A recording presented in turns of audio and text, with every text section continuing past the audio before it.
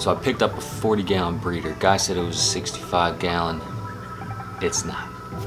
My day job, I work in the refineries in the Delaware River. Walking down one of the docks, to the side was a nice big fat piece of driftwood.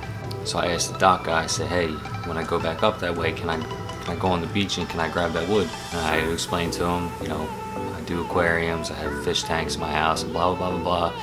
And that piece of driftwood would be perfect for my 125 gallon tank. Walked down on the beach, grabbed up the wood, threw it in my truck, bing bang boom, got myself driftwood. What are you doing?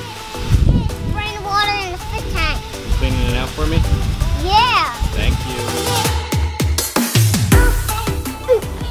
I can't lift it. Do you need help?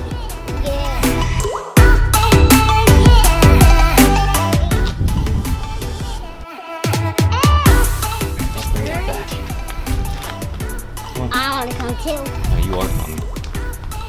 You're my helper. Let me spray it.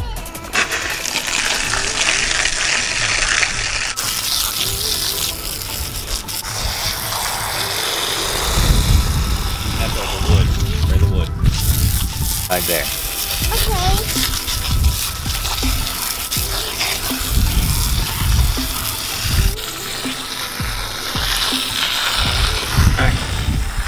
I'll get all that.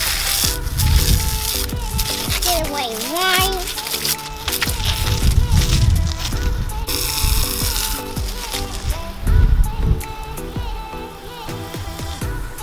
for spraying that.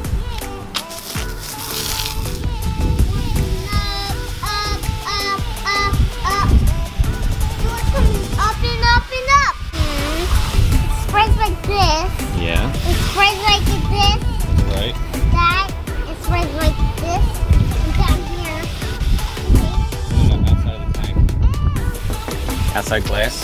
Thanks, buddy. That's that's perfect. Pretty fast. Get it all over. All on the outside. And up here. And up there too, yup. You're the man. And in here. And in there.